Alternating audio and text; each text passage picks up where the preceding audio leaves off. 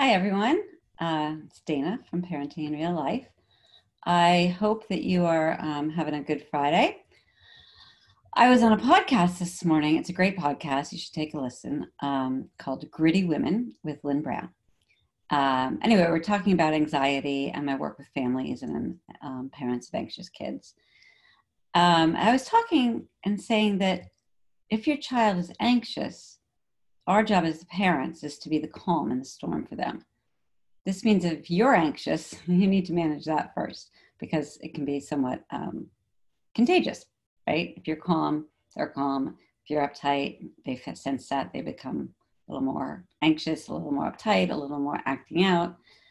Um, if you can name the emotion for them, that also is really helpful. When you name it, that sometimes takes the heat out of the emotion for them. So let's say they came home from a school and blanked on a test or something.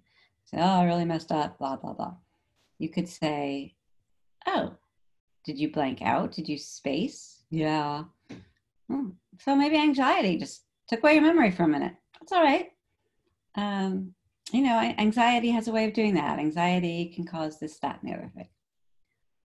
The other thing I do say a lot to parents is to um, accept that anxiety, accept that they have that feeling, all of the feelings, the the nervousness, the clutching, the sweat, the um, dizziness, any of those.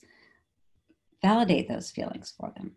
Don't pretend the anxiety doesn't exist because that sounds like you don't believe them or it sounds like you're diminishing them and their feelings and they need to know that you're there to listen to them and and they need to know how to cope with it right? So which leads to the next thing which is coping tools give them some coping tools.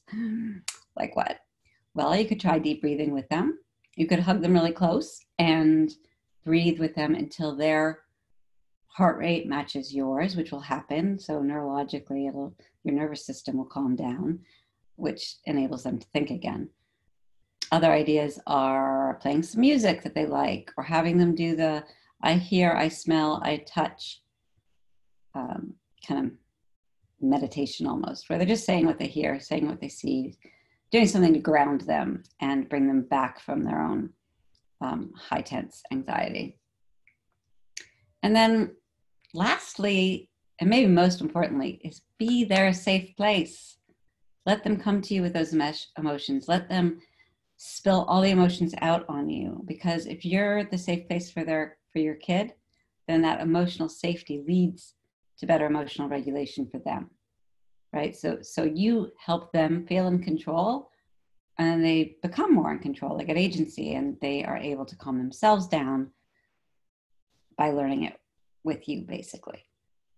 Um, so those are my tips for today. And again uh, the podcast was gritty women with Lynn Brown. Really fun. I love her. And she's doing some great work. So have a good Friday. Have a good weekend. And I will see you soon. Bye.